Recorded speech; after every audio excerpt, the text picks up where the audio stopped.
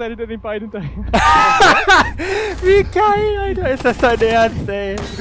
What the fuck?